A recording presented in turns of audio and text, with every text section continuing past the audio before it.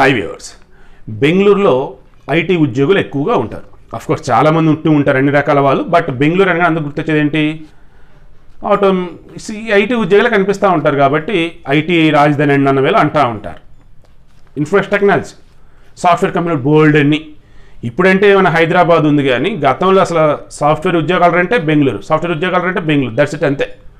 ఇప్పుడు ఎంతసేపు ఇదంతా ఎందుకు చెప్పానంటే బెంగళూరులో ఉన్నటువంటి ఒక ఐటీ ఉద్యోగిని.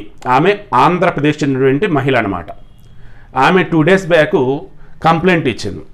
ఇక్కడ బెంగళూరుకు చెందినటువంటి ఈ బా బానసవాడ. బానసవాడ పిఎస్లో కంప్లైంట్ ఇచ్చింది. ఏమనంటే తన మీద అత్యాచారం జరిగిందని. ఎవరు చేశారంటే నైజీరియన్లు. వాళ్ళ పేర్లేంటి? అబూజీ ఉబాకా టోనీ.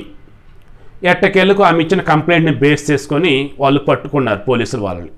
ఇమీడియట్గా మరి నైజీరియా వాళ్ళు కదా ఆటోమేటిక్గా ఎంబసీ ఇష్యూస్ ఉంటాయి కదా. సో వాళ్ళ రాయబారి కార్యాలయానికి ఆబ్వియస్లీ ఇది పంపించారనమాట ఇదిగయ్యా పలానా వాళ్ళు పలానా కంప్లైంట్ వచ్చింది వాళ్ళని అదుపులోకి తీసుకున్నామన్నారు.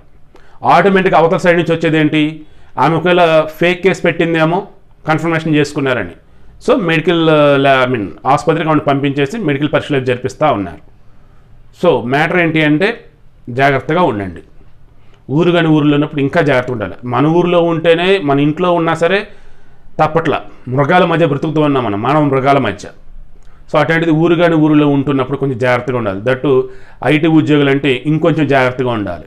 వీకెండ్ పార్టీలని అవని ఇవని ఆ దేశస్తులు ఈ దేశస్తులు అది ఇది. సో జాగ్రత్త మీ పిల్లల్ని కూడా అలర్ట్ అయితే చేయండి.